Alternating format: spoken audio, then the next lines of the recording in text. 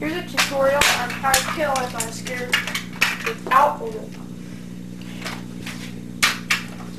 Now, if you want to learn kill it, first you have to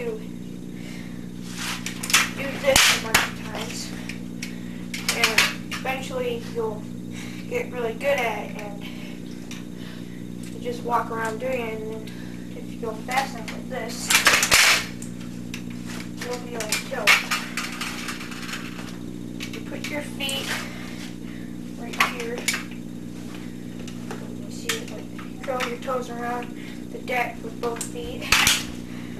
And you need good speed when you first try to kill it because they're hard to do when you're going slow. Here's an example.